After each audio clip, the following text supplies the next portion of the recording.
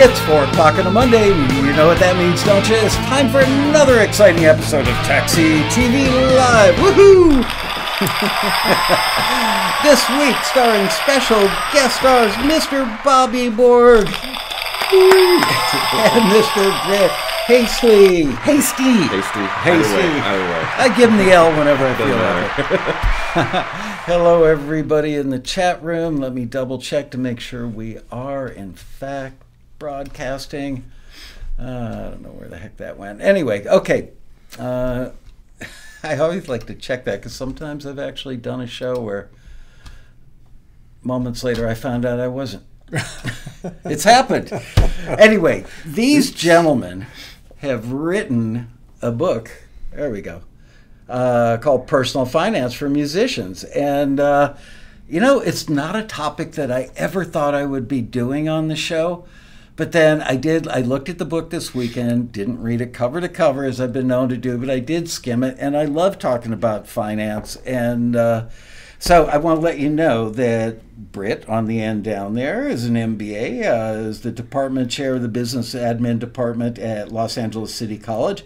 He's also an adjunct professor at UCLA, University of Massachusetts, and Chapman University, where he was awarded Faculty of the Year in 2004 and serves an advise, as an advisory board member for the UCLA Financial Programs Council. He holds an MBA from Chapman, which I've actually been on the campus, a nice campus of Chapman. Nice campus. Uh, and then Bobby Borg, who you guys well know, he's been here many times, but nonetheless, he's got an MCM. Uh, what the heck? It's a master's, Masters in Communication and Management. Oh, management. Yeah, uh-huh. Okay, MCM, uh, management. Masters of Communication Management There you go.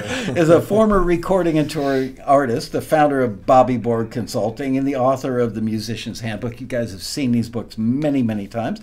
Musician's Handbook, Music Marketing for the DIY Musician, Business Basics for Musicians, and Introduction to Music Publishing for Musicians. He's an adjunct professor at music of music industry studies at University of Southern California's Thornton School of Music. He holds an MCM, the aforementioned MCM, from the University of Southern California. Mr. Bobby Borg. So I've got to ask. And by the way, if I get out of frame today, it, it, it was hard setting up for three people. You should see the rig here. So if I'm like, hello, you'll know why. Anyway, um, why? Why this book? I would have never thought in a million years that you would write a book about musician finance. But then again, I know you. You're a very serious guy, a very thoughtful guy, and a very responsible guy. And I bet that during your rock and roll years, you were probably the guy upstairs on tour balancing your checkbook rather than partying. That's correct. Yeah, actually, yeah. So, well, a little bit of a little having fun as well. But for, uh, you know, first before I want to, before we get started, definitely I'm going to answer this question. But before we get started, I just Thanks, want Bobby. to, I just want to. Um, I just want to point out, uh, generally speaking, we, we're uh, having a conversation today about personal finance, but we don't want you to take this as actual advice because that would not be professional for us to say that. Um, it is always wise to get a certified financial planner that will sit down with you and look at your particular situation to make sure that you're handled right. And that's the responsible thing to say simply because when we're dealing with money, right, that's a very, very important issue. Yeah, But the to answer lawyers on the show always make me say stuff like that too, and, and I get it. You know, Yeah. none of us are legally expert, let's say, but you obviously have Mm-hmm. of an course, opinion you having and, been that and listen, and the truth is, is a lot of times when you do meet with a financial planner, you actually know just as much, if not more, than them. But of course, That's just, you know, something I want to get Yeah, to later too, because yeah. I've, I've had meetings with several over the years and walked out of there shaking my head. yeah. I mean, really, you guys, cookie cutter crap. Yeah, it's not rocket science, and um, and, basically you can learn this stuff. But again, I just to be professional, I thought I would give that little disclaimer. So now to answer your question, Yes. Why? So you know the interesting thing is is that you know when looking at musicians or even looking at people in the sports industry, you know what you have is you have people that make major major sacrifices for many many years, and mm-hmm. sometimes without making a whole lot of money, and then all of a sudden you know the money starts coming in and you have absolutely no idea what to do with it so you start to new car you know new house. exactly and you do that a lot of taxes. times right, yeah to, you know you do that a lot of times to justify or to make yourself feel better for all those years that right. you were struggling I've earned you know, this. And, and you know and then finally you go out and you're like okay now I have to show people that I'm doing well so you want to roll up to the party in the big car and all that kind of stuff and then you know unfortunately people don't understand that you know success sometimes can be short lived. I mean, a lot of people Most don't have. Yeah, yeah. You don't have that 50 year Madonna type career, you know? And you maybe have a hit or two, and then after 10 years, living, you know, above your means, you now realize you all of a sudden don't have any. Yep. And I just thought, you know, this is ridiculous, you know, that this continually keeps on happening. And and then even looking at like, you know, smaller scales, just like, you know, your your typical musician that's just getting by and you know, it's it's a middle class type musician as, as we talk about them, yeah. right? You and I you both know, love that term, yeah, the middle absolutely. class musician. You know, just people that are making a living, you know, licensing things out, you know, doing okay, doing well, supporting themselves. Even I've seen people not do things properly properly with their money then either. You know, they, they are not making certain uh, their savings habits are bad, their investing habits are bad. So it's like there needs to be something. This yeah. is this is ridiculous. Someone needs to address this. So. And you know, you were concerned when you first asked me about if we could think about doing a show on this topic, and you said, "But I've noticed at the road rally that a lot of your audience members at the rally are, you know, over 40 years old. Maybe they know all this stuff already, or maybe they're doing it already, and maybe some are." but I know a lot of our members. I, I know them well. And, and, sadly, I just think that creative people don't really hone in on a business frame of mind. And I would venture to say, sadly, that there are a lot of adult, grown up yeah. taxi members that haven't thought about this stuff. And then all of a sudden, you turn 50 or 60 and you go, holy crap, how am I going to retire someday? So I think it's important for all ages, Absolutely. not just the 22 year old who's starting out that boy, if they could de- develop these habits in their 20s. Yeah. Oh, they, man. Wow. Would, yeah. Wouldn't you give anything to turn back the hands of uh, time? Uh, well, you know, most people typically start thinking about retirement right before retirement. Right. However, if you start thinking about this stuff as 20, it's i mean really and we're and i know what you guys are thinking. Like i'm just starting right? What am i thinking about retirement?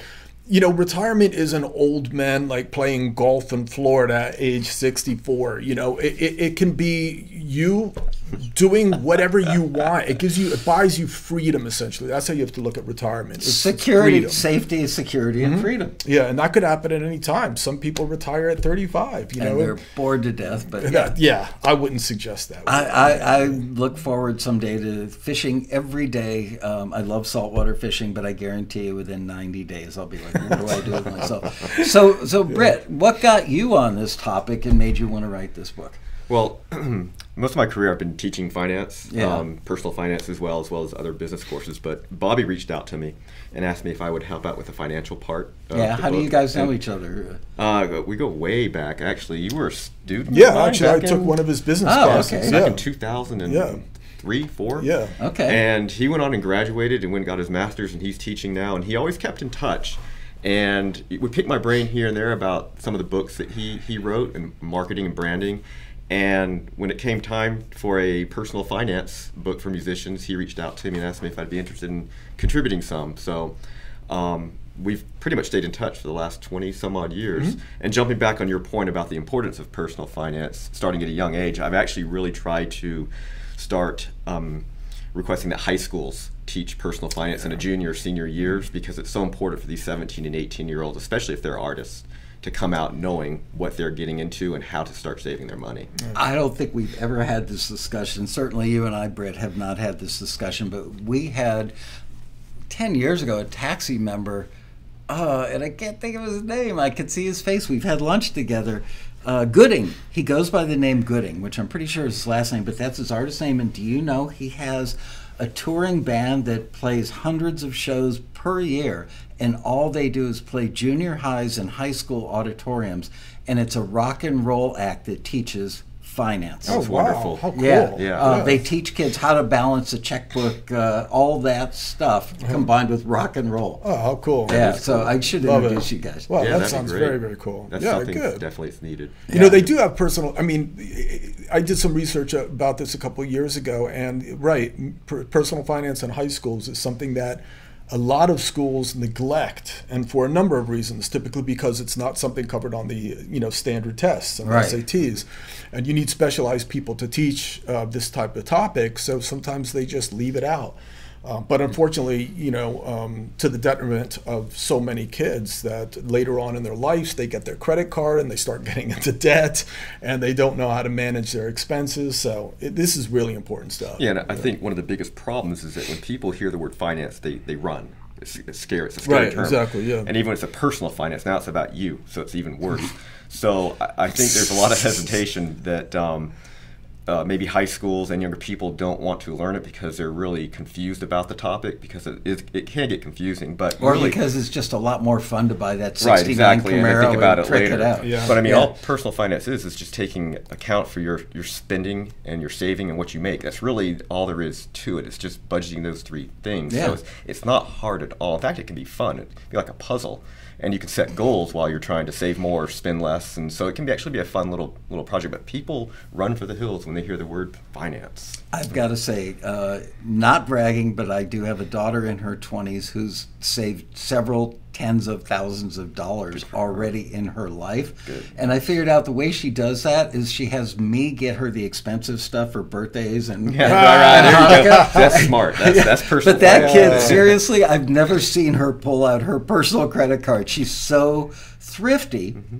But yet she doesn't. She's not one of those people that's obsessed with being thrifty to the point of living a life of deprivation. There's a balance, you know. It's a balance, yeah. And we'll talk about that, you know, um, on one of the questions that, that I know you're going to ask us. But one thing I do want to say is that there's a lot of people that get very um, angry about what we're just what we're talking about here. Like, in other words, there's a general like. Don't try and help me. For example, when I post something on TikTok, you'll have these like these kids like will will say like you know I'm tired of you your generation telling me that I shouldn't drink seven dollar coffees and stuff like Oh my that.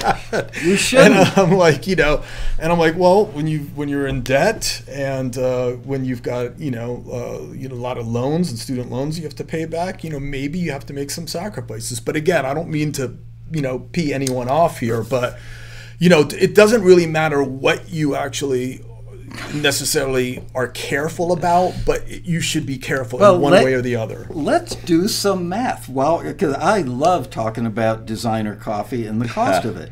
So let's Oh, say. man. Well, you realize that, Yeah. that coffee would not be seven dollars if consumers refused to pay seven dollars for it. Right. Actually, we set the price. It's not Starbucks. It's we do it. Let's say five dollars a day that you spend on coffee. And it's Oh, yeah. probably being a little bit conservative. Yep. So multiply that. Let's say seven days a week because you drink coffee on Saturdays and Sundays. So you're looking at 150 dollars a month times 12 months a year. Don't need to calculate for this. That's 1,800 dollars a year.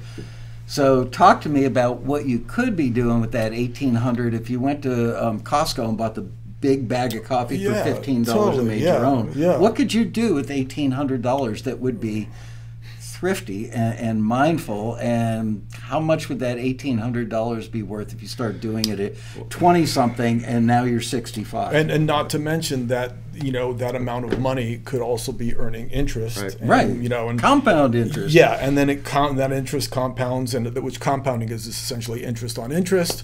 But depending on how well you can invest, you could be who knows. You know, it could be at five percent, it could be at seven percent, some some point it could be nine percent. Mm-hmm. It depends, you know, but Yeah. but Just- it makes a big difference. Your basic CDs are paying four and a half percent. Oh yeah, right now, Crazy. yes, yeah, crazy. So, I Certificate mean, of deposits yeah. are doing really well right now. Yeah, Right. even a money market fund is paying up to five percent The right general now. savings account will pay you more than what it was. Yeah. Right. ago, so- Yeah. Three years ago, it was like 0.01. Yeah, yeah, Now it's it's all gone up. Yeah, right Or if you But then again, that oh man, what did I see? Oh, a bottle of vitamin water. I used to be able to buy those on sale at Ralph's for 88 cents on a good day. They're a buck 99 now. So on one hand, you're making 5% on your money. On the other Well, hand, yeah, then you've got to subtract him, right? Right. Well, that's another thing of, of why you guys need to do this is because you know the power of money decreases uh, due to something called inflation. So if if you you know if you figure I'll just hide my money under my bed, well, you know, or under the mattress or in the piggy bank kind of thing, that's a, a bad philosophy. You're losing money on a daily basis if you're doing purchasing that. power on yeah, that, yeah. absolutely. I mean, there's nothing wrong with keeping some cash, Yeah. you know, home for emergency. But the, the majority of it, you want to, like what Bobby's saying, you want to put it in something that earns interest. Even that eighteen hundred dollars on the coffee, Yeah, you put I that mean- in, a, in an IRA, an individual retirement account, and let that just sit there for let's years just say until you save that $1,800 a year by not getting a Starbucks coffee every day. And you do that for 30 years. You could buy a car in ten years. with no interest Right. whatsoever. That's fifty four thousand and dollars. that'll Right. be doubled. Yeah. compounding interest. And, easily, and when you're staring down the face of retirement, I mean, it sounds cool to retire to a trailer park in Ensenada, Mexico, because the ocean's beautiful down there. But it's probably not. You know, mm-hmm. I don't know about you guys. I don't want to retire in a trailer park. Neither do I. no, no, no, no, no. At least if I do, I want to be that trailer park in Malibu that where Yeah, they there you start at like a million dollars for a, a trailer. There you go. Um, okay, so let's. Well, we've already talked about how musicians work for years and they hit it big. Uh, Britt, do you have any um, like three bullet points on budgeting? Because that's something even those of us who are fi- fiscally responsible, which I thankfully count myself amongst those people. Um, I've never actually done a budget. I I know, you know, I, So- I've got good self restraint most of the time. I will wait years to buy something I really want. Uh, but wait years to get it, you know, um, not like buy something I really want every week or every month. So, do you have any bullet point tips on how to work out a personal budget? Yeah, so so budgeting is one of those fancy words that people get scared of because it has to do with finance. Yeah. So really, as I, as I talked about earlier, budgeting is really just a process of knowing how much that you make, uh, how much that you spend, and then comparing the two and taking the difference and finding how much you have left over. Now, if you have a positive left over, meaning you are you have more money left over after you've paid your bills and everything, that allows you to use it for other things like investing, which I highly recommend, savings, um, opening up an IRA, an IRA, a CD, whatever it may be. Um, investing in yourself. Maybe there's some equipment that you want to use that's going to help you make money down the road. That's an option Oh, too. see that that's a mistake. Recommending that to an Well, audience full of I- musicians. I recommend because that guitar will make me more money down Well- the road. That piece of outboard will. No, it won't. I've never in a almost 50 year career met a piece of gear in any shape or form that ever generated a dollar more. I recommend it. I recommend it cautiously if you have no debt, you have no problems covering your bills, and your your your current equipment is wearing out, and you have to have something to keep you going if if that's generating income. But yes, don't go out and buy the five thousand dollar Yeah, no guitar. unnecessary You're right. None of the Yeah. none of the glamorous stuff. Um, the other thing is is um, knowing how much you are in the red if you are spending more than what you make. And that can go back to your coffee example. So what a budget does is allows you to see what areas that you could actually save money, cut out things, Yeah. um, and, and really get to the heart of trying to at least save 20% of what you make. That's the goal, is trying to save 20% of what you make. Is if I might, uh, sorry, if I might add, um, uh, you know, to this, it's a great uh, quote that says, "If you don't measure it, you can't manage it." So a budget is almost like getting on a scale to know, like, okay, how much do I weigh today? Is my diet working? Is it not working? So. When you're budgeting, Not you know, uh, when when when you're budgeting, um, you're kind of looking at what is coming in, obviously, and then there's a system called paying yourself first, which which is highly recommended. Which means that you allocate a certain amount of what you have coming in that that's uh, going to go to Rich your Dad savings. Poor Dad, uh, Robert Kiyosaki? Oh, uh, so many people talk Yeah? about this, yeah. And then you know, essentially, what you do is like you you might take that money, and that automatically a certain percentage will will, will, will you know you allocate specifically to maybe go into a retirement fund or to your savings or to an emergency fund, which we'll talk about later. And then you add on all your expenses, and obviously your what you make should equal the bottom bottom number. They have to be balanced. They have to be equal. And then when you see, you know, wait a minute, I can't save that five percent or ten percent or fifteen percent or twenty percent that I want to. So where could I cut off on the stuff here? Where can I make some sacrifices? Do I really need this? Do I really need that? Do I really need this? And then you can kind of just juggle your budget around a little bit. You could say, well, you know, maybe I could instead of buying bottled water every day, maybe I can get a Brita, Brita filter or something like that. And all of these little things you do can actually make a big difference. And then, Yeah, as it's- Britt pointed out, you look at the end to see where you're going in the red, right? And then you make adjustments. and it's it's more of a budgeting is more of a self-reflection type of exercise. You really have to understand the difference between what your wants and needs are. Yeah. And when you're young, oftentimes those wants take precedence over the needs, and you need to reverse that kind of thinking. What is exactly you need, and not pursue those wants right now. So it's it's hard to prioritize that as, as a young person, even as an older person. How do people get out of debt? I, I'm a cash and carry kind of person. I've never had more than five thousand dollars worth of credit card debt, and that was only when I was unemployed once for a year did I rack that up.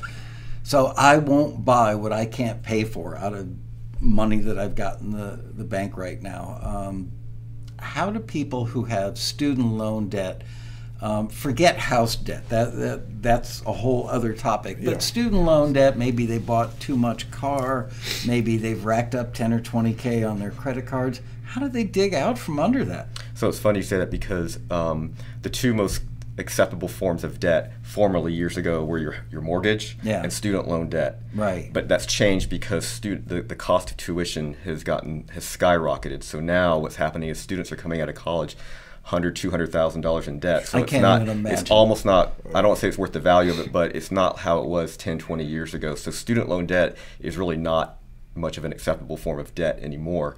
Um, and you can't uh, caution for those that have student loans. You cannot discharge those in bankruptcy. So don't even think about going the bankruptcy route. Really? I didn't know that. You cannot discharge those unless you have a severe disability and you can't work. Then they'll consider it. So um, that don't consider that. But those two forms of debt aside, credit card debt is one of the worst forms of debt you can have. And I know it's hard when you're a young person to use a credit card here and there. We all do it. Um, but if you have a credit card, uh, or you have more than one credit card, if you have to use one, use the one with the lowest interest rate and um, make sure you pay it off monthly. Uh, and I think we're going to get into how to improve your credit later down the, the discussion. Um, it's good to use a credit card every now and then just to show some activity because when you are looking, it, builds it- your it credit builds your up. credit up. Yeah. So don't think that you get a credit card and never use it because if you never use it, it's going to become inactive and they'll close the account and it actually can hurt your, your credit. But um, getting out of debt is what the original question was. And if you have a series of credit cards, um, the best way to, to tackle that is to try and pay off the highest interest rate credit card first. What about loan consolidations? I hear that on the radio all the time. I've never had to do it. be careful with loan consolidations. You really have to read between the fine lines on the on the contract because they can start you out with a teaser rate, mm-hmm. which is really low. Hey, we'll mm-hmm. we'll assume all of your debt if you get a, a personal loan through us or you consolidate your debt, mm-hmm. and it'll start at four percent. And at the end of the year, it jumps to 21%. So be careful. If you don't pay off the full balance within that first year under 4%, then after that next year, all of the interest from that year built up will compound into 21%. It, it'll put you upside down faster than you Yeah. can know. So be be careful with those loan consolidations. Typically, your big credit card companies like Discover, um, Credit uh, Credit One. I mean, they they are pretty legit with these consolidation type things. But if it's a third party, one of those uh, cash, you know, you can paycheck advance type places. Right. Yeah, don't e- just keep driving. Don't even don't even bother. the best place to see those is in your rearview mirror. So just keep driving when you see that. But avoid the loan consolidation unless it's uh, a hard rule that that interest rate stays the same throughout the life of your loan at a low rate. So But there is two. There's two techniques. There's the avalanche method, Yep. right? There's the snowball method. Yep. You want to go? To, Yeah. Yeah, so sure. love to hear So so um, another way instead of paying off the highest interest rate credit card first, which is is, is great because you're going to probably save the most money that way. Um, you can also which is the avalanche method, is what they call it. right. You can you can do the reverse and you can start paying off the credit card that has the lowest balance first. And what this does is you are as you are paying off smaller balances, starting with a smaller balance, it's easier to pay off and it actually is motivational because it shows that you're paying off one credit card at a time. So it builds. It, it almost becomes fun to pay them off because you see this this taking place and it's motivating. Yeah. So that's another way of, of doing it. Starting mm-hmm. off with the lowest dollar credit card first, and It's like getting it. your first TV placement with a piece of music. Right. I can do this. I can do more of this. Mm-hmm. Exactly. Well, yeah, and that's What was the uh, other method that you know, mentioned? Snowball method. The second one was the snowball yeah. method, right? And then you know sometimes people just have you know uh, savings, and they're just they don't they don't want to part with this, that savings to actually Pay pay, off debt. Oh, but that would be hard. You think about it. If you're paying like a high interest you know credit card loan at 18 percent, let's just say for example, and you have your money in an investment that's only earning like one percent or less.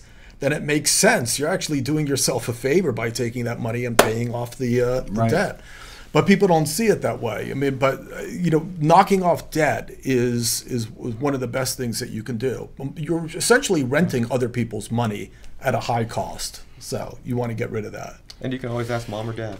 You, know, You can ask the mom that and dad talked about in method. Our book, the last method is ask mom or dad. Use the birthday mom and card dad, money or birthday card that. money that you've been saving up from grandma over over all the years. I mean, you know, if you happen to, to get like let's just say for example a nice sync placement and you get three or four thousand dollars, you know, take that and and knock it out. You know, but pay it off.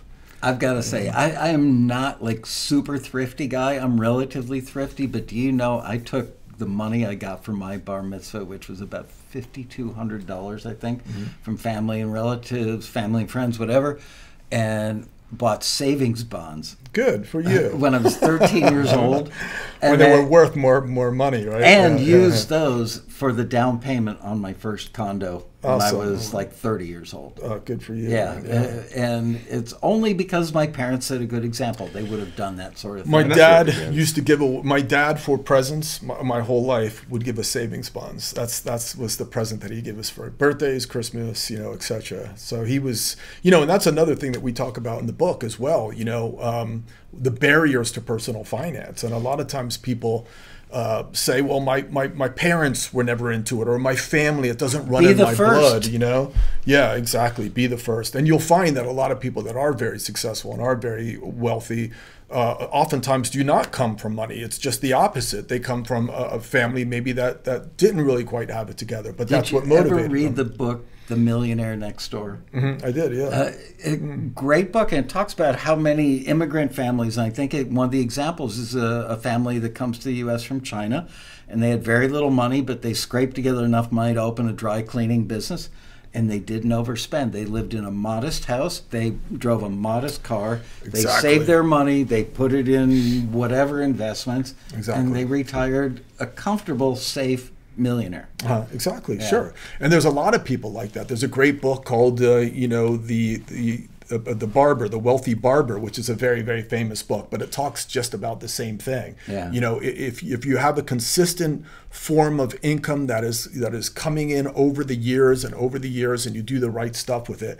Those are the people that end up doing really, really well. Except you don't think so because everyone thinks of wealth as like you have a Bentley and you know and you're you you're you know in a speedboat in turquoise water and that's what they equate with wealth. But actually the definition of wealth is not how much money you spend you know? It's basically what you have your assets what you you know what you own minus what you owe is is essentially the definition of of wealth. Assets minus liabilities. And people always look at it like what you're spending and how much how big a house you have. And and you know what kind of car you have etc so you know that's that's it's this is all psychological stuff that is important in personal finance essentially People are aspirational. Mm-hmm. You see somebody driving a nice car on TV, it plants a seed in your brain. I want that, and, and it's completely understandable. And Uh, little do they know they're probably renting the car and leasing the house or vice versa somehow. Yeah.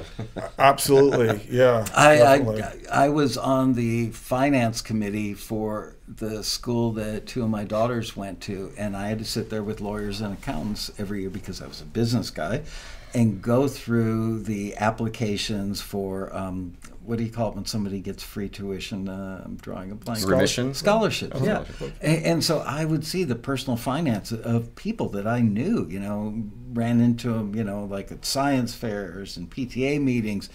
And there were some people that had like an 8,000 square foot house in Malibu and a Mercedes and a Corvette.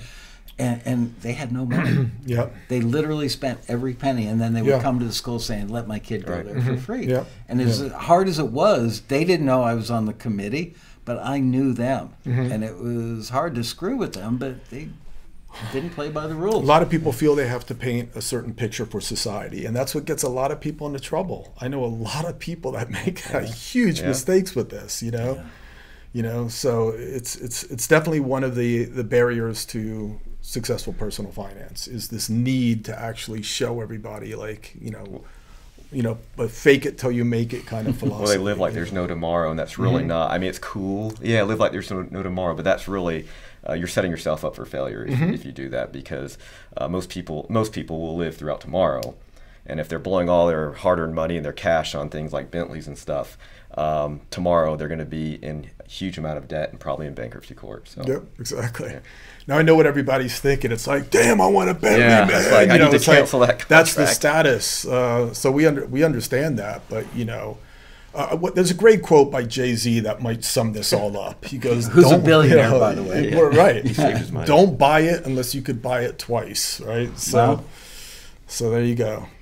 But- Well, or, yeah, or, I- or I- three times. I have, I It's going to be fourteen dollars in coffee then, right? yeah. Um, okay, now let's make the differentiation between people in their 20s starting out. What are, you know, the difference in the mindset and the practice of what you should do in your 20s versus somebody who's 40, 50, or 60? Is mm-hmm. there any hope for somebody who's 50 and hasn't been Absolutely. 50 but not thrifty? I So, didn't yeah. plan that. That just Well, rolled off the tongue. So yes, I mean, there's there's it's never too late to start you know thinking about this stuff. It's it's never too late. Um, I mean, certainly if, if when you're 50, you'd be much better off if you started when you were 20. But to say that it's completely all over would be would be wrong. You know, you Is just there have to, enough time you in the timeline to have the compound interest have well, much of an effect? The problem is obviously if you're 50 and you plan on retiring when you're you know in your mid 60s or even 70, that's only 20 years. You know, so you can do something, but it's of course not going to be as beneficial as when you started when you were 20. Right? You don't have the benefits of the compound. Now we know why people rob you know. banks, and bank robbers are always older now. And of course, you, you also don't have as much of the opportunity to ride the uh, the ups and downs of the market. That's because- always been my fear. you know, Um, if you start when you're 20, right, and you, Yeah. it could do this, and then it goes down, but you have time to recover, and, and it always does. what if you're 70 you know? and the market goes That- in the dumper yeah. on your that's 69th happened. birthday? right? Yeah. That, that's that's Yeah. that's the problem because you you started when you were 60 or 50, and you know, and so Well, that's the danger. when you're when you're 60 70 years- years old the investments you have they shouldn't be risky anyways Mm-hmm. you should have the riskier investments when you're a little younger where you can recover from a down market when you're Right. 60 70 years, years old you should be thinking more of uh, blue chip stocks and bonds just things that are relatively safe that kind of follow the market nothing crazy like this what bobby loves this crypto currency Oh, yeah you love, you love talking about that stuff yeah, no, I only love talking about it Yeah. just to be clear, uh, because you know people like the sexy, risky Yeah. type of stuff. Yeah, it you hasn't worked out that well No, for my it- friends. it that, has not, You know, no. anybody I know that did like 10, 20K in crypto is not yeah, happy that no, they yeah. invested that. These are all like sexy and and but they're but they're they're cool, but they're they're they're also risky. You know.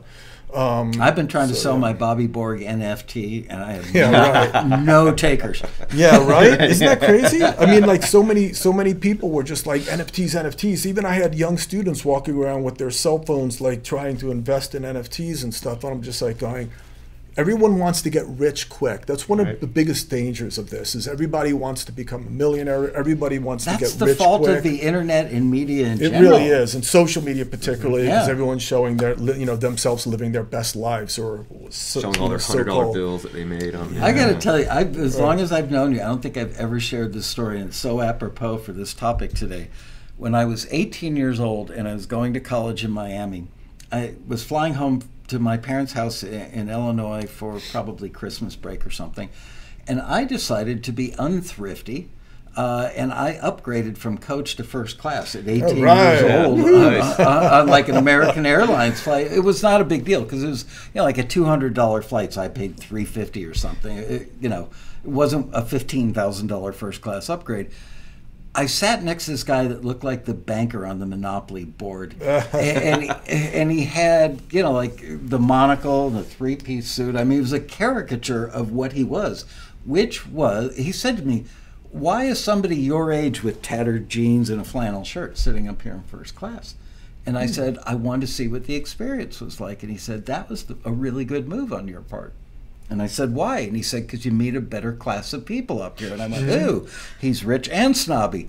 And he went on to tell me that he was the largest independent bank owner in the United States. I don't want to say his name, Wow. but I've never forgotten his name or his face and the advice that he gave me. He said, if you want to become financially stable, he didn't say wealthy, he said financially stable. He said, buy stocks in things that you use and you love. Right. Yeah. So I bought Yeah. Apple stock. Warren Buffett says that too. Yeah. as I bought Apple Yeah. stock the day the first iPhone came out, and mm. somebody, literally day number one, and somebody handed me a phone, and I went mm-hmm. swipe, swipe, and I went, Yeah. got to buy some of that. I called my stockbroker, which I I generally would buy, you know, uh, mutual funds, and, and you know, invest a couple thousand dollars a year in mutual funds. Mm-hmm.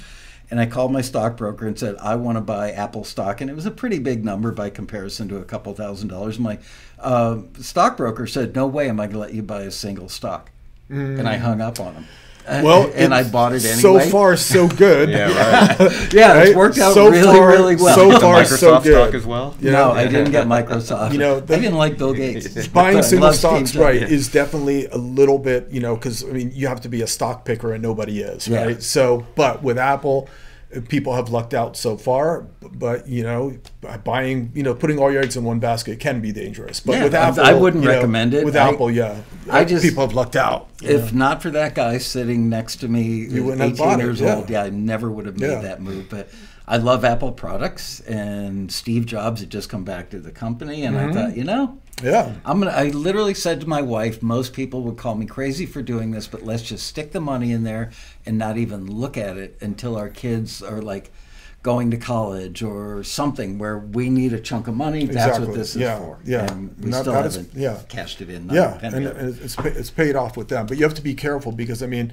you know, I know people that invested in BlackBerry and as a single stock. You know? yeah. Well, And we know what happened to them, right? You know, if you're going to do that, get a professional. This day trading stuff, is fun. Yeah. It's challenging, but if you don't know what you're doing, you can you can lose a lot of money. I'm not so, so sure that uh, it's. This is one of the questions I Nobody came really up- knows what they're doing. Yeah, and It's you know, life gambling is what it is. my wife and I sat down 10 years ago with a certified financial planner.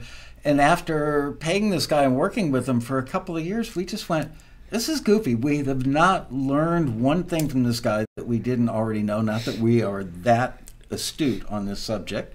I think we're pretty average, as a matter of fact, just common sense people. And we were spending more on him than we were I making Yeah, from yeah. his that's where the advice. fee- yeah. You But know, yet, uh, I, I know some certified financial planners that have done really well for other people. So I'm not indicting all certified financial planners. But Yeah. Well, you know, um, a certified financial planner. You know, if, I mean, if you're if you're trying to get sort of a grip on all of this, it doesn't hurt to sit down with somebody just to kind of assess your situation and maybe make some suggestions for you. But you know, you can hire someone on an hourly basis and maybe meet with them once in a while, um, and that might be a good idea. But if now if you're talking about getting a money manager, someone actually that's going to manage your funds at like a one percent of all your assets, That that, can get me. very expensive. Yeah. And, uh, and you know the truth is, and this really is the truth, is is is nobody knows what direction the market's going to go. There are some people that analyze, and they're very very good at analyzing. But the truth is, is nobody can over time and time and time and time again pick it and guess it right. And that's exactly why you guys can get on some of these financial shows that you see on television and find someone that you like, right? And listen to what they're saying. And you can go back six or eight months and everything they're saying now contradicts what they said in the past. You know, so no one really knows for sure. Um, but yeah, I mean, passive, you know, passively managed funds, maybe something like an index fund you know that that, that you know matches the, the the market indices like the Standard and Poor 500. Let's just say, for example, like you a- throw uh, it in. a- you don't have to touch it. You don't have to look at it. Vanguard index fund will Right. Lower- probably exactly. make you five to seven percent year Yeah. after year after Yeah. year, unless something catastrophic. And these have low expense ratios. Yeah. And that's what Warren you know, Buffett recommends too. Yeah. That's where Really? He made all his money. Yeah. Yeah, index funds. Index funds. really. Yeah, he does ETF actually. and yeah. index funds, In yeah. fact, you- Wow. I don't know if you guys heard about this that he did a, a, a competition with this huge like um, Oh yeah. I hedge fund uh, guy, and he said, "I bet you anything, you can do all your math and science and calculations and things like that." I'm going to beat you with an index fund. So 10 years, we'll compare. Wow. And he actually won. Yeah. So, you know, and, you know, he didn't do anything. It just sat, he didn't touch it, and that person was working it every day buy, sell, sell, buy, buy. And he I've got some friends him. that are retired that are probably like 68 to 75 years old and they day trade. But they, they take an amount. They say, like, okay, I'm going to take 10 grand and play with it because I can afford to lose the whole 10 grand. And it keeps their mind active and gives Yeah, them people something love to wake it. up Yeah. and do. Yeah, every day. people. Love. it. There's probably some people that are angry at us right now for saying this. Well, yeah. but, you know, so I people, mean, people to clarify, it, if know? You have a few bucks laying aside and you mm-hmm. have it's fun money, like money you would take to Vegas or whatnot, throw it in a in a. You can day trade with that. yeah, but we don't call it funny money. Yeah, but if you're if you're young in your 20s and it's the last five hundred dollars you have, don't be day trading with that. I mean that that's You know, and literally, uh, it's scary. I see my like 20 year old students walking around with their phones, and they'll be on Robinhood or something like that with these financial apps. That was and my I next said, "What are you doing right now?" And he goes, "I'm checking my stock portfolio." And I go, "Your stock portfolio? You can barely remember to, tur- to bring a pencil to your midterm. You know, it's like, are you serious? Do you have any idea what what, do you what is think, it?" uh, of- What is a stock? Explain that to me. Uh, you know, I'm like, but you're putting down your money that you're making from your day job into stocks. You have no idea. So you got to be careful. Do companies like Robinhood, because they've got younger investors that don't know much, maybe, um, do they have programs that basically you can make 5% compounded year after year because they kind of push you in a direction? Or I, I don't Well, know anything about Robinhood. Yeah, I mean, it's basically it's a it's an app that makes it easy for you to buy uh, into to buy into the market. A lot of times because they're allowing you to buy fractional shares. So rather than buying when most people can buy Apple, one it- share that can't afford it, Right. you could buy fractions of a share. So it makes it like anyone really could get into it. The problem is, and I told Britt about this, is that. I just think it's a little bit irresponsible because it makes it feel and sound so easy, and all the advertisements make it sound so simple and easy. And you know, it's portable, it's on your mobile phone, and there's probably some of you guys right now that are, are actually using it. And so I just want to be clear: we're not suggesting don't use it, but you just have to be responsible. It's it's your money. It's it's not a game. And you should never think about what we're talking about today as get rich quick strategies you should look at all of this as it's not about getting rich. It's just about securing your future, um, you know, saving for certain goals that you might have in a, in, a, in, a, in a really practical way. It's not get rich quick. It's very, very important. You know, a safe play is always to diversify your investments. Some risky, some not risky, some middle of the road. But when it comes to the the money you have at the end of each month and trying to figure out what to do with it, let's say it's two hundred dollars. You know, put twenty percent of it in a savings account. Put the other twenty percent in a money market. Put the other twenty percent in a CD. Just spread out the different types of investing you would do with it, uh, because some investors are going to earn a little more, some a little less, but at the end of the day, these are all relatively safe, and you're not locked into one type of investment too. So the money you have at the end of each month, you can segregate into different types of investments as well. I've got a tip. Not a certified financial planner, not a professional.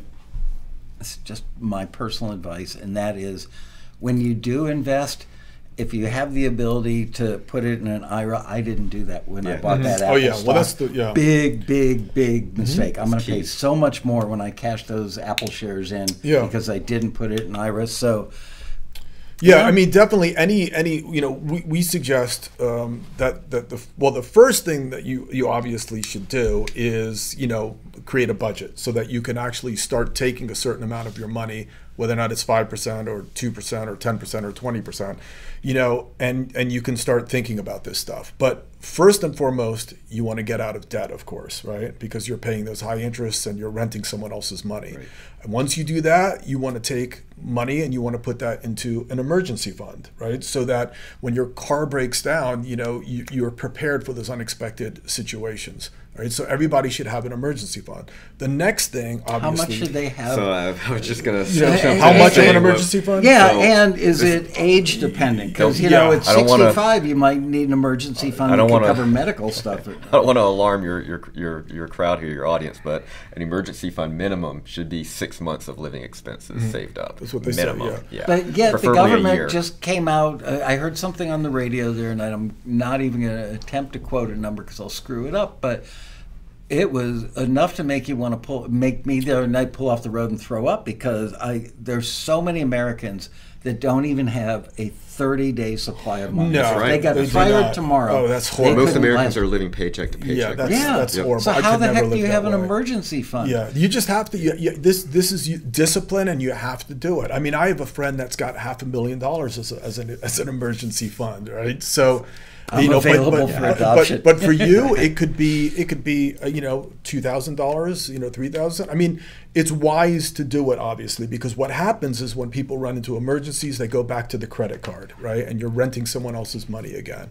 So after you do that, then you have to start taking advantage of your retirement accounts because the government is providing us opportunities to essentially at the end of the day save on taxes whether or not it's because you're lowering your tax bracket and you're paying less in taxes every year or you're allowing your money to to grow tax free so when you take it out you're not taxed. So either way you're crazy if you're not taking advantage of these of these things that the government gives us. And why do they give it to us? Because i guess it doesn't make any sense to have a bunch of old people living in in, in tents at, in, uh, the age of 70, you know, in their older age. So they're giving you an incentive to, to, to save. So you're crazy.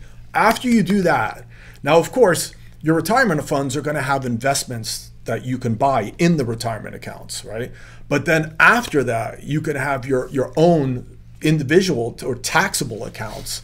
Um, and that's when you can maybe sort of have a little bit more freedom because the retirement accounts do offer a number of different investments, but a lot of times they don't offer as as many as you can if you just have your own, let's just say, taxable account. So first you want to max out those retirement accounts first and foremost, and some people don't even do that. You know, um, And what's at the my difference age, between you like could do a, 30 a- a- an IRA or IRA and a Roth IRA? Yeah. Um, so it's, it depends. I mean, so essentially, is one generally better for the average person than the other? I, I do both, and Yeah. the reason why is because it, it's a question of do you want to save on your taxes now, or do you want to uh, save on them later? So, which brings me to a question. so I just do both. As soon as I saw out. Britt's bio, I wanted to ask you this question. What, uh, when the certified financial planner or any sort of investment professional says this is tax deferred, what exactly does tax deferred mean? It just means you're going to pay taxes on it later. Well, what's the big deal? So, okay, let's say So- grandma dies and I inherit $20,000. Um, and I'm going to stick that in some sort of investment that's going to defer the taxes. Um, is there any advantage to? I would just deal with the pain now and pay the taxes. But clearly, I'm wrong And because the certified financial planner said You- always go for tax deferment when you can. I never really understood that. Usually, that would be the right thing to do if you're at a later stage in your life. But if you're younger Yeah. and you come into money like that, you have the opportunity. You can pay taxes on it now, and your investment will be smaller because So you've you've got already the paid full taxes. 20 So you got the grand full to 20 make that's going the to money compound that interest over 20, 30 years until you retire. So, so it doesn't dep- change the tax rate. Let's say you're you're going to pay thirty. you're going to pay it eventually. Well, unless the tax rate goes up, so we don't, Well, you know. right. You're talking about money that was left to you, but if we're talking about Oh, your, yeah. your income, then yes, it can lower your tax Right. If money's left to you, that's a whole. di- I, I misspoke about that So- because that's so- a different different kind of tax. So let's say you make hundred thousand dollars a year, um, and you're taxed at the highest rate, which is right about twenty seven percent right now. Unless you live in California, Um, Yeah, there's right. Exactly. another ten on top of that. that. Um, if you decide to contribute to a retirement plan, uh, the money that you are contributing comes off your gross income. So your gross Right. income will now show eighty thousand dollars a year, and you're going to be taxed at a Ah. lower bracket because you're, it shows that you're making less, that your taxable income is less. So that's one of the benefits, of a huge benefit of these retirement plans, is it lowers your taxable income off the top the what you were getting at is do I go into a retirement plan with money going into it has already been taxed or will it be taxed when I when I withdraw it when I retire. It all depends on, like I said, where you are in life. If you're a little younger, you're probably going going to want to invest pre-tax dollars. Okay. So it grows. If you're older like us, it might make sense to go ahead and pay taxes now, and then we don't have to worry about paying taxes when we pull it out, even on the profits. So there are good and bad things about each one. Let's talk about when you inherit money. Um, wills and trusts. I mean, it's expensive to hire an attorney. My wife and I had to do one because I own a company. I've got four kids. Uh, we own a house, so we did a trust and a will. You definitely and, and and you have to redo it every. It's setting up a will and trust when your kids are in primary school is one thing, and now your kids are 20 something, that's a whole other thing. So you have to go in and spend several thousand dollars to adjust all that stuff because the kids' needs are going to change. When they're little, if you and your wife, God forbid, perish in a car accident, a plane crash, or something, and you both go at once, you want that money to go with the kids to whoever you've designated to take care of your kids As while your they're still- trustee. Uh-huh. Yeah, a- and so that's a, a different can of beans, can of worms, whatever, um, than when the kids are 30 and they might inherit that money. So, do you guys have any great advice for people who have not yet set up a will uh, and or a trust? And along with that question, what about things online where you know do a trust online or for two hundred dollars versus six thousand dollars to hire an attorney? Do those work? So, wills and trusts are used interchangeably. Typically, uh, for someone that's young, you're not going to need a, a trust just yet because a trust is the umbrella that, that holds all of your assets. Yeah. And usually in your 20s, you don't have a lot of assets yet. However, a will is just basically a statement of where do you want your who do you want your property to go to. Right. So it's important to start off with a will when you're young because you might have a, savings account, you might have a couple of investments, and if you were to pass away, it'd be nice to be able to leave that to a loved one or a friend. So there's nothing wrong with writing a will or get, having an attorney draft up a, a, a will with what little you have. But as you grow and become successful in your career, and hopefully in, in music, and you make hundreds of thousands, if not millions of dollars, and if you acquire assets, you then want to consider creating a trust because that's what's going to hold and protect all of your assets. Which would be really important. You know what? We have taxi members that are making 50, 100 grand, few that make a couple hundred grand a year. Yep. Um, they have intellectual property. Yep. That if That- they passed away tomorrow, that should go to somebody. That So should be in a trust too. Yeah. That because it protects it. Um, but yes, and again, the will part of it, yes, it should go to someone, wife, child, whoever it may be. So they go hand in hand. But but like I said, you typically want to start off with a, with a will first, especially when you're young, because you haven't accumulated all of those assets yet. And as you grow, And don't leave your guitar to your wife because she's going to sell it. It's like, finally, I, I get to buy that I little diamond tennis thing. bracelet. But the most That's right. important thing is please seek out an attorney um, uh, or someone that's an expert in setting up uh, setting up trusts. They're very complicated the way they work tax code and everything. So Really um, complicated. Don't just take the advice of what you read online. Uh, consult a financial expert and a, uh, a lawyer. How do you know when you've got a good financial expert? Because my experience is that I, I've had several. I've had a couple. Yeah, a- and, Yeah. Um, we just fired the most recent one a year and a half ago. It's like, dude, we made more money by taking five thousand bucks and putting it in a Vanguard. Uh, I think the fund was Yeah, right. VGT, Yeah. and just leaving it in there. Than you made us. Yeah. So in, in the book, we talk about uh, there's a whole chapter on how to find a CPA, how to find an accountant. There's also um, a whole chapter on how to find uh, a financial planner or a money manager. So, uh, I mean, speaking from personal experiences, I mean, I can tell you some nightmare stories and I can tell you some great stories. I mean, so essentially, um, I, I would say the first thing you want to do is you obviously want to go with someone that comes recommended. You know, so speak with somebody that you trust, speak with someone that you like, and just say, hey, who do you have as an accountant? You know, or, or, or certified financial planner, and how do you like them? And have they been they they done well for you? Right? At least start with that first and foremost. And then when you walk in, you know, obviously, you know, I think most young people are concerned with the price. So mm-hmm. first and foremost, so you know, is it possible that you charge maybe a flat rate to let's just say, for example, do my tax return because that would be the first thing that you probably do. Um, and see if you can get them to agree on like yes it's going to be $400 to do your taxes and it's going to be no more than that and you're going to write a check for $400 and we're going to do your tax returns and this is what we're going to give you at the Which end I, I'm a fan of using a professional to do tax returns rather than trying to do it yourself. Uh-huh. Yeah, sure, They are you know. always going to find you more money. Yeah, typically, yeah. Especially if you find someone that you feel comfortable with and you don't have to deal with all the stress of the different rules that might change. And, you know, you do have to work together with your accountant. So you're going to have to keep all your tax receipts together and that type of thing. But I would say that's going to be the first two things you want to do get a recommendation, then see if you can get someone with a flat price. Because I have had nightmares where people tell you it's a flat rate, and then all of a sudden they're calling you up and asking you questions, and you see it's not four hundred dollars, it's seven hundred and fifty because they're charging you for all the phone calls and they're charging you for Each form. uh, every form, and and yeah, so this there's been some some nightmare situations. As far as the chief, uh, the certified financial planner, I've had some good situations and bad ones. And typically speaking, you know, when you again find someone that's recommended, and then when you walk into the office, if they're sitting there telling you how they're going to, you know, they can pick stocks and how they're going to make you rich really fast.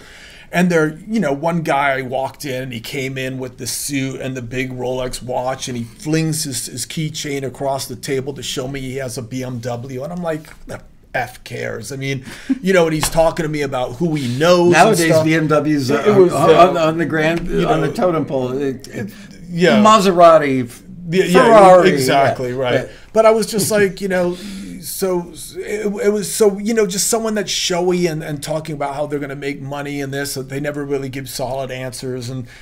You know, you have to kind of feel it out, go with your gut. And there's so many other different things that we talk about, but it probably wouldn't make sense to go through every, uh, you know, point in this book right now. But Or just people generally could just buy it. By the way, we are going to give one of these away in a few Oh yeah, minutes. for sure. So I think uh, one important thing that, that, that Bobby was touching on is when you're seeking out an accountant or a, a certified financial planner, w- with regards to most of your audience, try to find one that is used to handling clients in that business, in that industry, Mm-hmm. that has the music experience That's or the artist advice. experience. Absolutely. Because you could go to an accountant that's never done taxes for an artist. And I know in, in that industry it's a lot different. You're 1099 a lot and you're not W 2, and it just gets confusing. So an accountant that's never dealt with something like that before uh, Yeah. could be disaster. Just for Do they which music gear can you Yeah. write off? Uh, Yeah. For instance, I learned one year I bought a suit that was like six hundred dollars to wear, probably to a taxi road rally. I found I couldn't deduct that. Yeah. I thought that was a business expense because I bought it for the sole purpose of wearing it at the convention. Uh uh uh. Actors can't even deduct. You know, if if they wear their own wardrobe, they cannot deduct that. Right. But uh, that microphone, that was a deduction. yeah. I don't understand. They're they're both part and parcel to me running this company, but clothes, you know. Right. And they'll tell you, you know, what you can, they'll help you with what you can deduct and what you can't. So, I mean, the best bet would be obviously to be, to individually have great work habits, you know, Yeah. have a record keeping system where you know how to keep receipts and you know what you should keep and what you shouldn't keep and that they're filed accordingly. And then you even have to be very, very careful with that because if you get audited, the IRS oftentimes is going to want to see the actual receipts. And if you're just throwing them in a drawer, and what happens is receipts get mildewy and hmm. Receipts actually start to fade, and that will not They be able to fade. count. Do you have one of literally those little scanner things or you just shove it in you, there? you can do that, but Yeah. check this out. You might say, "Here's my digital file of all my receipts." I know from experience they want the real receipt. So You're even right. if you have most the of them fade copy- after six months. That's right. And I- because of the way yeah. the printers print them now. And I personally asked the IRS, I said, but they fade, there's mildew. And they go, well, deal with it. So now what I do is I basically lay them all out. I put a plastic sheet on it. I mean, it's Oh a pain in the butt. But if you get audited, it's worth it, especially if you get what's called an in person audit. Or, I beg your pardon, a book audit. That's where you have to send everything to them. That's a complete nightmare. oh my god! And make sure your tax account will represent you in an audit as well. you know, yeah, very important. I told Bobby on the phone the other day or in an email, I fire my accountant every seven years as a general practice. And, and the reason I do it is the first year they do a good job and show you what a good job they did for you. The second year, pretty good job. By the third or fourth year, they're now handing the work off to an associate who basically just uses a computer program and they take last year's return and go, oh, you made $3,000 thousand mm-hmm. dollars more this year and do a little bit of Right. fine tuning, Yeah. but they still charge you the $700 or whatever it costs to do it. I had an accountant that missed a ninety-three thousand dollar mm. deduction one year. Wow. Yeah, and he goes, "Wow, I can't believe you caught that." And I said, "Yeah, thank God I caught it." Uh, it, it was They let some, you amend that, right? yeah, Yeah. but it was a big pain in the butt, and, and you're raising eyebrows at the IRS Yeah, when you come in and say, $92,000, "I can't remember what it was." but I it was going to ask. it was some business thing, some tax that we qualified for some- here yeah. at Taxi that was a new thing, and, and he didn't know about it, or just forgot to put. You know, I actually brought it to his attention probably a month before he did the return, and he still blew it. So that right. goes to you saying that get somebody who's in your industry because the That tax really code, understands Nobody could know the whole tax code for any state or or the Fed. Um, and at least if they do a lot of musicians, what they've done for musician number one might be the same thing they do for two, three, 27, and 58 as well. Yeah, you really want to do this. And and listen, this is what I told, you know, the IRS. I said, look, you guys give us the opportunities to write certain things off, right? So I am very well going to take advantage of every single one of those. Um, and, uh, and and I mean, certainly it could even be something like I remember going to Blockbuster because I would rent movies to listen to the soundtrack Yeah. which is uh, especially if I'm consulting people about soundtrack work and such. So they wrote that off as, as research. Yeah. Right. So I mean, there's a lot of things that you can write off. It definitely does help to have somebody that's in the music industry because they'll understand those specific things and they'll ask you questions as you're doing your return. They go, "Did you do any of this?" Did you go to the NAMM show this year? Did you pay for any conventions? You know, in fact, you can actually write off your own tax account as well. So Yep. as an expense. So, And- Your airfare to the road rally. And another Yeah, a little, absolutely, little yeah. trick that you might consider it when you're looking for a tax accountant, um, uh, when you're looking at their credentials. Uh, this, like my former accountant, he's he's retired since then, but he was great.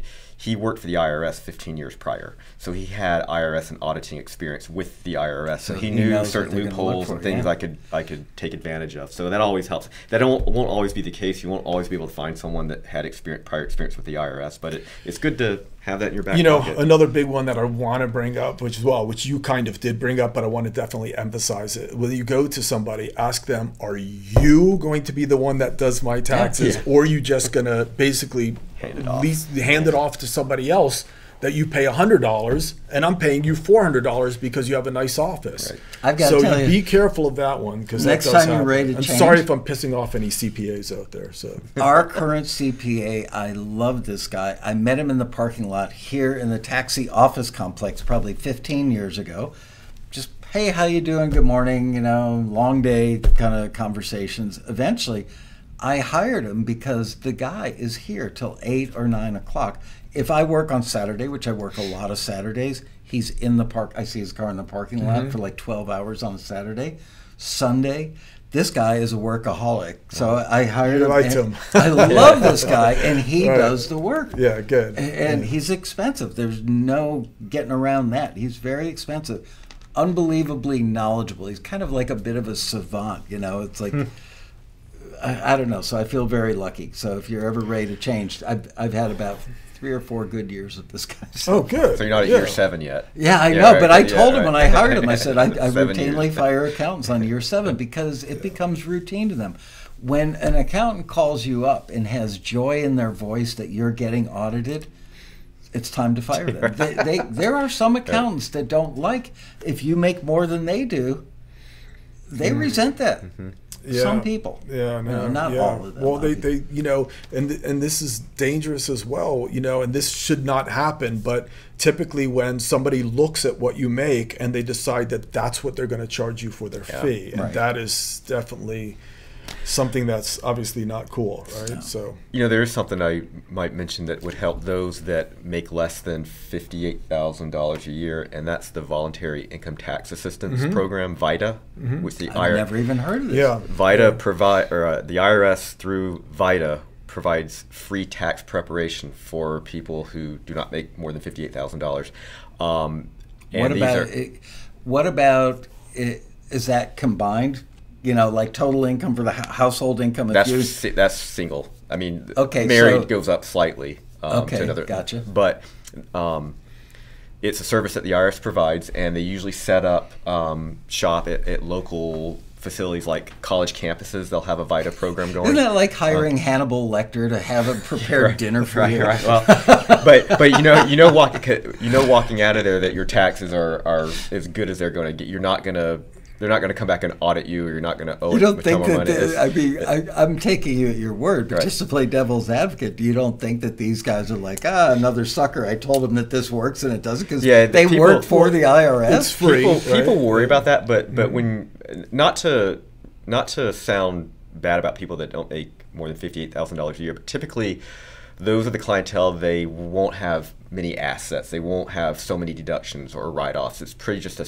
a straight W 2, 1040, perhaps even a 1040 easy form that's going to be filled out. So um, they're they're virtually Simple, it's- Yeah, straightforward, simple and straightforward. So there's not going to be much leeway there, but it's it's a good free service. I Mm-hmm. know students that take advantage of it all the time, and I've heard Oh, very good. very good things from them about it.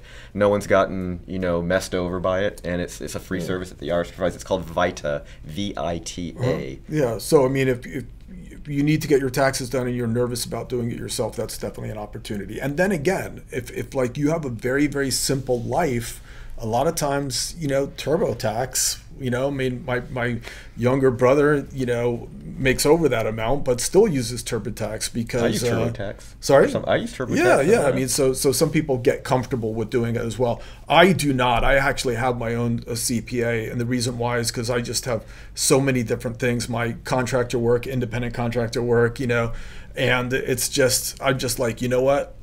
You know, you do it. I'll just give you really good records, but I don't want to mess with it because there's nothing worse than getting an audit. You know, and just I've been through a couple. Yeah. Passed both of them. Yeah. I can't tell you how much the accountant made while I was being It's- audited. it's not fun, When you're yeah. a, a business and you get audited. First, I was audited by the feds, came up clean, then got audited by the EDD, which is the state of California. Mm-hmm. They're the devil incarnate. Mm-hmm. Those they make the IRS look like a bunch of lightweights. wow, really? Yeah. No, I rather enjoy doing my taxes. I kind of like it. It's fun. It's like it's like a puzzle. It's like you're trying to find the piece that's going to help you the most, and as long as you stay within the guidelines, you're good. I just, it's just met like a, you, and I so badly want to say, "Get a No. life." no, I, I only enjoy doing it once a year. I wouldn't want to All do right. it every day, but it's kind of fun to a certain degree. I I love the fact that the accountant that I've had now for three or four years, he actually gets off on this stuff. He's really into Some it. Some people are very into it. Yeah, for sure. I, I, Yeah, I love this excited man. Can't say enough stuff. good stuff about him. By the way, um, I've actually thought about having him on the show, but these guys are covering all the topics. Um, would you guys like me to see if I could get my? That would be a great show. uh, you should do it. I'm thinking about for the Because road think about- rally yeah, to think- have him yeah. do a you know CPA for musicians, Yeah, but yeah. then again, he's a California CPA. Because, but think about like all of the deductions a lot of people don't know about, right? Yeah. These are all things that, that are, are worthwhile. See, Last people are comment, making fun of you in tax Britt. They're going tax They're- is fun.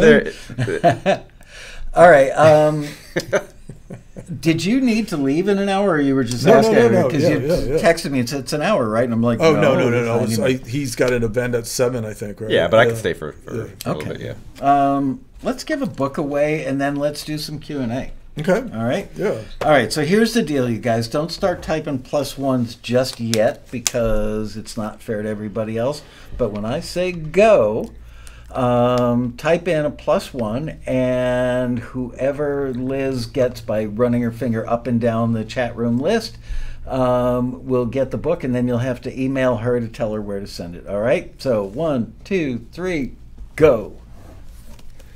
All right. And there is the book Personal Finance for Musicians by these two gentlemen right here. Yeah. You know, I do want to tell you guys that we're really, really proud of this book. We put a lot of research uh, into this book, spoke with a lot of different people, and it's written in such a clear and easy, understandable style, and everything is broken down into short little bits. The chapters are three or four pages long. Skimming through it a little Yeah. bit yesterday, Yeah. I noticed that it's the kind of book, and then I found it says that somewhere on the book. It says you don't Yeah. have to read this cover to cover. Oh, You yeah. ca- it's like Any Robin. chapter. Yeah, Yeah. Robin Robin Frederick's books Yeah. are written that way for songwriters, where you can just like go, "I'm having a hard time with a rhyme scheme," and look up rhyme scheme Right, and go exactly. to that. So yeah, this it's is, not written like a book where you have to read chapter one in order Right. to figure out chapter two. It's like you could literally open up chapter twenty-eight and read it. And I'm by glad you glad you said that because that's another thing that scares people away from finance is terminology. They Yeah. see these big Yeah. big 50 cent words and that just turns them off and they go Yeah. away. So this is all simple Yeah. uh, layman's terms finance. I've read a number of finance textbooks and, and I, I understand how boring that, that can get, but this book is a very easy to read. Uh, you know, a high school student could read it and get Yeah. get a lot out of it. Mm-hmm. perfect So- for me. It's everything you should have learned about in high school. Yep. But, But I didn't. love it. Here's a personal monthly budget. Um, you know what? People hear the word budget, they don't know how to They structure that that. word, You know, they just think, well, I mean, as Bobby said, it's what you make versus what you got left over, and, and the stuff in the middle is your budget. Um, I have a, an adult child that I would say is not as thrifty or careful with her money as I am. And I've said to her, just do a budget so you know how much you can spend. Yeah. And, and she's So, like, yeah. I, I don't know how to do a budget. like, well, you know, there you go. Yeah, it's in the it's book. so simple, and, and, you know, it. This is life stuff, so it, it, it's very, very important. And it Yeah. doesn't budgeting doesn't necessarily mean, uh, you know, people think of a budget as like, you know, suffering. Yeah, it, it shouldn't be thought of like that they're being way. restrained somehow. it's Yeah, just- the handcuffs just- are coming. You just have Yeah. your, when you when you have your mind on your money and your money on your mind. You you basically Whoa, as, there's a bumper sticker. as Snoop Dogg actually yeah, said, right? yeah. um, you ba- you you When you have your you know money on your mind on your money on your money on your mind. You actually respect money a lot more when you see what's coming in, you see what's going out. You'll start to respect it a lot more. You know, um, it's, and it's so it's important. Marion Laird won. Awesome. The perfect person. Marion, I'm so happy that you won this. Um, honestly, I, I really look forward to reading this in earnest. Uh, all I did Sunday, and I was careful. I was going to start dog earing dog earing pages that I could use for questions today. And I said to Bobby, "Can you send over some suggested topics?" And Yeah. he did. So These are the most common questions anyway, typically, you know. And I want to let you guys also know that Britt and I have a series of videos on uh, my YouTube channel as well, youtube.com slash Bobby Borg. So youtube.com slash Bobby Borg. There's a bunch of little one minute shorts on there and there's a couple other longer ones as Fun well. We're gonna we're gonna do more as well uh, for you guys. So Fun you can always go there. Yeah. How did they determine Marion when the book was? How did they? How did Um, they? Liz uh, is the show producer in, Okay, in, so in another office, and Okay. she just literally shuts her eyes and runs her finger up and That's- down the chat room and goes bink, and wherever her finger lands is the winner. Yeah. I wonder whether or not doing something like this at the rally would be would be cool. Um, I would love to have you. Um, Great. If me and you want to do a, a class, maybe Michael will let us do something. Um, Wouldn't be, it's a good time to remind me about that because I'm Yeah. literally working on Yeah, the rally yeah. as we speak. Um, don't forget the Taxi Road Rally coming right up November 2nd through the 5th here in Los Angeles. You know, you've been hearing about it for years. Can I afford the plane ticket? Oh. Can I get those days off work? Yeah. Yet you keep seeing these quotes from people that say it's Yeah. life changing. It Yeah. is. I, I you know what? We don't charge for it. Where else are you going to get a world class event like this for no money? yeah. I'm, not, I'm, I'm not, you know, Excuse me. this is, this is, uh, I'm saying this from my heart. I've been to a lot of the different conventions and seminars and, and, and things. You've got to come to the Taxi Road Rally. It's an amazing experience, particularly because everybody is so loving. I mean, it's like a, a, a family of people that everybody is so supportive. It's just, it's a Yeah, really, it's not really, competitive at all. No, it's not other conventions. way. It's Yeah. like, dude, you call that music? Yeah, no, at the no, road no. rally, it's like It's- people Let me so show you how to get it right so that you can make money with that. Yeah, music. I mean it's it's my favorite actually uh, conference to be honest with you. It's, it's it's you definitely have to come out, and if you do, uh, I'll see you there because I'll be there for sure. And our first question, because we're now open for the questions, and please type in the word question in all caps so I can spot them easily. I'm going to move this over a little bit so that I can see my whole face. Um, is from Edmund Red. The registration's on the second night, uh, or on the second, right? Yes, it's on Thursday night, November 2nd. Correct. I mean, you could show up Friday morning. Unfortunately, people show up at like five minutes to nine, and we get started in the ballroom at nine o'clock. So people end up in a line of you know 50 or 100 people uh, Friday morning and they miss the keynote. So there you go. Uh, all right. Other questions for these gentlemen? And Bobby promised me the person that asked the best question, he's going to give them a check for a thousand dollars Oh, wow. To nice get started on their investment. I investing. didn't know that. Good one, Bob. I'm Makes kidding. me want to join the podcast on their side and try and win that thousand dollars. Andre Stefani is going to book his private jet. Private soon. jet. Me too, Andre. Nice. I'm so excited. Andre has wanted to come, but COVID screwed up the whole travel thing between Canada and the Uh, U.S. no. And Andre's never been to a rally, so I, I personally will be there waiting for you in the lobby to give you a hug when you arrive. yeah. for you.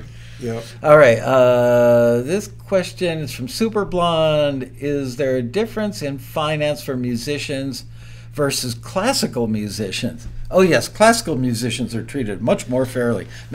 no, I mean, but, you know, listen, the, it's the book is called Personal Finance for Musicians, right? Because essentially, you took the topic of personal finance and made all of the examples relate to musicians. You just, if I wanted to, I could rewrite that book. I can go personal finance for chefs, and I can actually just take the examples and put examples that relate to a chef's life. Note to You know? self. right? Talk to Bobby about you know what? I might have personal you know, finance for small business owners in the industry, in the music industry. There you go. There might be a line of these books for literally everyone. Personal finance for a teacher. I mean, it's the same stuff. It applies literally to everybody. With the exception of You know. writing off your musical gear, maybe. well, you, you, yes, but, that, that's but what a I chef mean. could write Yeah. off their knives. Well, that's what I mean. Yeah. The, the the topics are the same, except then the examples, right? The examples Yeah. about what you can write off for for musicians. And also, uh, you know, the book is Personal Finance for Musicians because it's a line of books that I have. I have Business Basics for Musicians, Music Marketing for Musicians, Introduction to Music Publishing for Musicians. So, Personal Finance for Musicians, it's kind of like a, a Bobby Borg brand kind of thing. And I'd rather be more niche market than just write a personal finance book because musicians first and foremost is where my heart is because I'm a musician first and foremost. So yes, it's for everybody. Absolutely. So Marion Laird, who actually won the book, has a question. Do you have any tips on healthcare for musicians, especially Oh, my gosh. when Right. close That- to or after through that. retirement age? yeah. Oh, you mean oh healthcare? I thought you meant like staying physically fit. I was going to No, say no. yes, No, let's health do insurance. it. No, Oh, she's talking. insurance. Uh, yeah. Uh, well, I mean, essentially, um, having health insurance just in general. I mean, typically speaking, most people get health insurance obviously from their job, right? So take advantage of health insurance from your job. But if you're saying that you don't have a job or you're no longer Or, or working, you're an independent. You're know. a musician who, who Yeah. gigs for a living. You don't have I health insurance. recently, I mean, so right. So if you're an independent contractor and you need insurance, I mean, I recently um, was looking into California covered, right? And um, and you know, it can be expensive actually to get really good insurance. And so, I mean, but there's there's there's really no other choice unless maybe you have a spouse and you can get on your spouse's wor- you know plan. Yeah. But um, you know, essentially, There- you had a, an an incident years and years ago where you, you- Oh yeah, yeah. covered that. So if you're talking about, so basically, yeah, it was a workers' compensation Yeah. issue. So I was out on the road and I actually got hit by a, a truck. I know this is going to sound funny, but I got Yeah, hit it's by a always funny when somebody gets hit by a truck, Bob. And I got a pulmonary embolism. Most people laugh when I say that. Whoa. Which basically, a pulmonary embolism means that I had a blood clot in my lung, which was ready to explode. Which From means, the accident? Yes, which because basically it was a, a, knee injury, and then Oh, the and blood clot came traveled up, up. Oh. traveled up, which means I very easily could not be here, right? But thank God I am. But I was in the hospital for about a week and a half, and there were like, and then Coumadin blood thinners for like six months, and going in and out of the of the hospital, and you know that was covered as a result of of the workers' compensation insurance because uh, I was out on the road working with someone, so it was covered. Wow. Um, so yeah. And, that- why did you walk in front of a truck? Yeah, I know. It's a, it's a it's a long story. We're coming back from a gig and we're crossing uh, back over into New Jersey. So New Jersey, you know, should say it right there. Someone was basically playing chicken with us, basically like you know, like get out of my road, so to speak. And they it was a hit and run. So uh, And the guy never got caught? Yeah, he came it was a right to us. He came right at us. I ran this way. He came that way.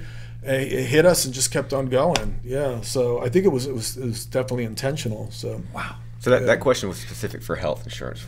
was Yeah. it? Okay. Yeah. okay. Uh, and, or the guy really didn't like drummers. Just or saying. didn't like the band. Right. We were on tour. Was that when There were a uh, couple with more Warrant questions. at that time? Oh yes, it was actually. Yeah.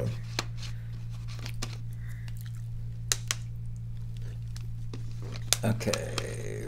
Uh, question from Bob Frederick.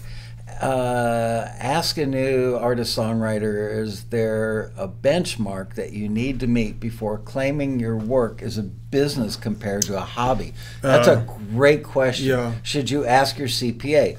Because, yeah, a lot of people, you know, I, I started another small business, really small business, a couple of years ago, and, and spent probably five thousand dollars in startup costs doing all the contractual work and stuff. But you can't deduct that until you've got income Yeah. against it. Uh, Yeah. But what about the, more specifically this question? Um, I, I could tell you right now that Yeah. my. I mean, like if you're not, if you're, if you're, you know, have a business and you have income coming in, and and it's continually you're taking a loss on that business for up to three, Three years. four, Three you know, years. years. Yeah, essentially your your CPA is gonna gonna say, well, you know, the IRS might look at this as being a hobby because you're not a profitable business, you know, because I mean anyone could just say, "Oh, I'm going to go into the photography business and buy a bunch of cameras," and they're just doing it for fun, and then they're they're trying What about to. if they've know- got some clients and they, Well, you know, right. let's say they invested ten grand in equipment, another three thousand dollars in ancillary expenses, and they generated thirty two hundred dollars in revenue shooting a couple of weddings. So, so then you could write off all that stuff. But if after continually a number of years you're not profitable, So then they can- might say, Interesting. So Yeah. you can write stuff off if you're not profitable in the beginning. You just can't get away with it for very long. Correct. There's a statute involved. Mm-hmm. So, um, depending on your location, certainly ask your CPA what that might be as well. Interesting. Okay, uh, another question. Uh, are the concepts universal or more directed to American musicians? Um, and that was reposted from Edmund Red, who doesn't live in America. Oh, you're right. So that's a good question. I mean, I admittedly, um, when I do, being that I obviously live in the United States, and being obviously that the United States uh, uh, arguably is the entertainment capital of the world, meaning actually more recorded music is sold in the United States than anywhere else, I tend to write my books leaning towards um, the demographic of the Yeah. United States. Um, but that being said, you know, certain principles, of course, do apply to no matter where you live. Uh, I think where where we have the main issues of difference is when you're thinking about retirement accounts or your your you know tax issues and things of that nature. Uh, was where you you need to be the most concerned with there being a difference. What if you live in communist China? Let's Oh say? my lord! You're not a It might- musician. You're, not, you're not a musician if you're living in communist. yeah. Um, okay, a couple more here. Uh, regarding receipts that you get from e purchases, would the IRS consider a printed receipt from your printer an original? I save my electronic receipts in a folder. Would these be okay? That's a great question. Yeah. Um, yeah, I mean, this Bobby is, goes, this "I'm punting you know, this one they, to- they- you know, what the IRS, Yeah. the IRS has really cracked down on a lot of e-purchasing over the last years. Where y years ago you could get away with buying something if it was out of state, Right. Uh, you you weren't taxed on it, but progressively they've gotten you know, a little worse and worse where they're they're catching people that, that do this. So to answer your question, save your your email that you get from the company that you typically has the printed invoice as an attachment. Save that email so you can confirm that it did come from them. Save the e-receipt as well, and if you want to print it and put it in a folder, that's always a backup in case your computer crashes or you lose your email or something like that. Mm-hmm. So so yes to to to every question that you you asked. Um, I could tell you that when, when I go to my CPA every year, you know, I mean, I, I buy tons of, of books for research purposes and that type of thing. I'll, I'll go to my Amazon account and I'll, you know, print, you know, the receipt and I fold them up and I give them to my accountant. Wow. And my accountant has never said, um, you know, this will not work. And in fact, I remember when I did get an audit, I, I sent those to the IRS and they never said that, you know, this won't do either. Um, so Frankly, they were so shocked that a musician had his financial act maybe together. Maybe so. So back back to his question real quick. A lot of companies no longer provide actual receipts in the package. It's typically just a, a- Right. a- a- A text or something. it- even, it's yeah. typically just a um, um, what do you call it? Um, a, Invoice. in- no, it's a package list. Just what's Oh, a included in packing the big, list. Oh, a right, packing list. that's yeah. true, yeah, right, so yeah. so save that original email or confirmation you get from the the party that you purchase it from, and Mm-hmm. the IRS should be fine with that. I have a little folder in my mail where basically when I get those kind of things, I just it's called taxes, and I just take that Yeah, I email and I just thing. drag it into that folder. I do the same So at the end of the year, I'll just have all of these things I did. What about if I know with my I only use my American Express card unless I'm somewhere that won't take it, and one of the reasons is they give you the That categorized Yep. your monthly and annual yep, your statement. annual statement. Yeah. Yep. Uh, is that annual thing good if you're ever audited? Yes. Because it gives hold a lot of to detail. It. Yes, hold Yeah, on to it. yeah. Hold on to all of that stuff. The more you can provide the IRS in an audit, the more I don't say lenient, but it shows that you are making an effort to be honest and forthcoming. I'll, So I'll tell you, you know, the IRS even asked to see my my calendar, you know, for for my literally your calendar where you Right. have things written like, um, you know, had session, you know, d- did this, went Right. there, had meeting, you know. I mean, it's, I it's, don't it's have my- crazy. yeah, I have all. Of I have now. every yeah. one of my daily calendars going back to 1991. Do you really? Wow. Every one of them. Wow. And, and Yeah. I was in the middle of a lawsuit one time, Yeah. and those things saved my butt. Absolutely, yeah. Um, and, and I every year I start a spiral bound notebook. If I have a meeting and and I take notes in that, I save all that stuff. You're mm-hmm. like Brett Kavanaugh with that calendar all the way back to the. I, I, I do it because, frankly, my I don't remember a lot of stuff. Yeah. You know, it's not like I, I thank God don't have Alzheimer's or anything, but I I tend to forget stuff, and I go. I remember concepts, not details. So Yeah. I'll think, oh, I remember talking to an accountant about that like Right. four years ago. Right. I can go back and see which accountant and what day I met with that person, call them up, and say, by the way, I'm no longer a client, but yeah, that's so great. for those reasons. And I, I, I tend to be that detailed as well, except the one thing that I need is the one thing that I forget to put on the Of course, of course.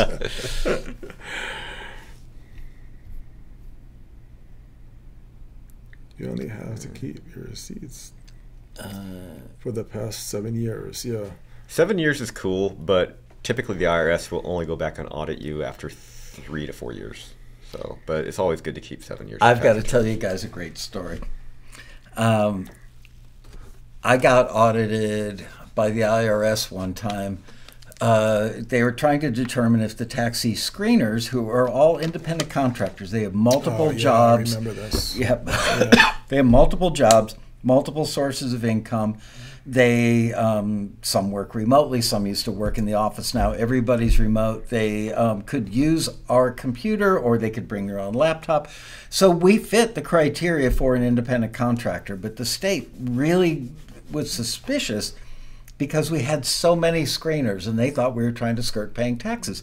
We talked to tax attorneys about it, we talked to tax accountants about it, and we claimed them as independent contractors. Well, Yeah. I got audited by the EDD, which is the state of California. Yeah. And my accountant uh, cost me about 50 grand to go through that audit that year. And the lady was there so much from the EDD that she had a little corner office at my accountant's office. and he said, under no circumstance should you ever come over here because she will try and entrap you the minute you walk through the front door. One day, I got called and he said, I need this document and I need it in 10 minutes. And whoever I would normally have run it over there wasn't here, maybe lunch, bathroom, whatever.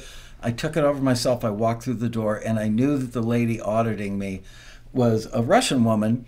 Um, and I knew that she was actually a first chair violinist in a symphony nearby here, a well known symphony. And I walked through the door and she goes, Mr. Laskow, with a very thick Russian accent. I'm like, oh my God, I'm trapped. And I said, oh, you're Ludmilla or whatever her name was. And she goes, yes, how do you know? I said, because I looked you up online and congratulations. I understand that you're the first chair um, violinist in XYZ Symphony. And she goes, yes, I am. Right, And I said, I have a question for you. Do you sit in a chair that they provide you with? Well, of course. Do you go to rehearsals when they tell you the rehearsal is Thursday afternoon at 4 p.m.? Of course I do. And I ask her three or four questions like that. She goes, Oh, you're very, very good. Okay, we are done. and I passed the audit. Right. Because she was, 'Cause now she- if we were guilty, she was guilty. Right, exactly. we weren't guilty Right. because I'm squeaky clean about that kind of stuff. Right. But they just audit you hoping. I mean, once I got audited, uh, you know, it was like hundreds of thousands of dollars in penalties and back taxes that I would have owed. I came up owing like under thirteen hundred dollars. Yeah. Well, some employers obviously do want to treat their employees as independent contractors to Right. avoid workers' compensation insurance and other taxes and that type of thing. And a lot of times, the person working for you is more than happy to do that because their paychecks are bigger. Right. So no one says anything. But you know, uh, at least you know no one other than the IRS, right? So Yeah, they know if they shake enough trees, they will get some money, A- and I understand that's their job. But Mm-hmm. Yeah. anyway, um, guys, th- this was really, really good. Uh, Yeah, frankly, good better than I. Not that I thought it was going to suck. I know you would never come on the show and bring any topic or a book, which, by the way, I think now you know that there's good stuff in that book. Um, I'm quite amazed how much fun we had doing this. Yeah, it was a good time, very yeah, lively. absolutely. Britt, very nice Thank to you meet very you. much. There was, you know, there's one thing Oh, I wanted. one more question? Comment. No, I, I saw it was way back up. You don't need to scroll back through. It was something about um, if you live in your car, it, can you get a tax write-off for that or something to that effect.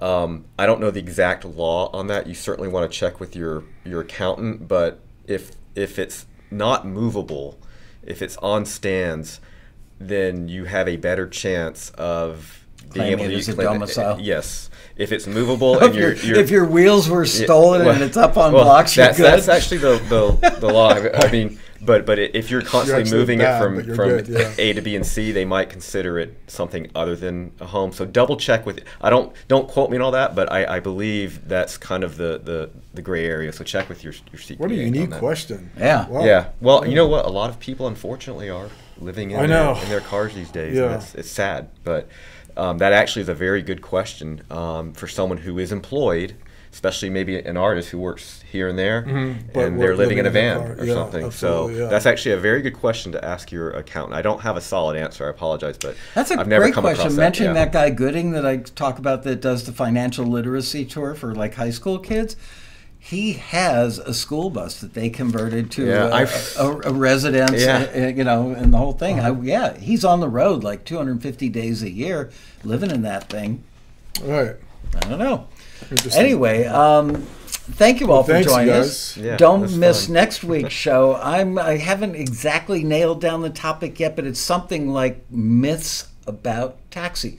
I saw a guy making a comment on YouTube in the comment section today. The guy was completely wrong. There are all these myths that live on about this company. So I want to tell the truth and dispel some of the myths. And I think that many of you who are our regulars will uh, join me in that. Thank you for joining us today, Britt. Very, very nice to meet you. Thank you Thanks for having me. Appreciate thanks it, yes. For writing what promises to be a great book. Bobby, as always, my friend. Um, and we will see you guys next week. Don't forget to give us a like and smash that subscribe button. We will see you next week for another exciting episode of Taxi TV Live. Yeah. Thank you. Oh, nice.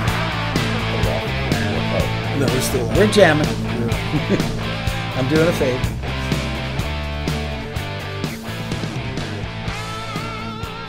There's some but cats, guys.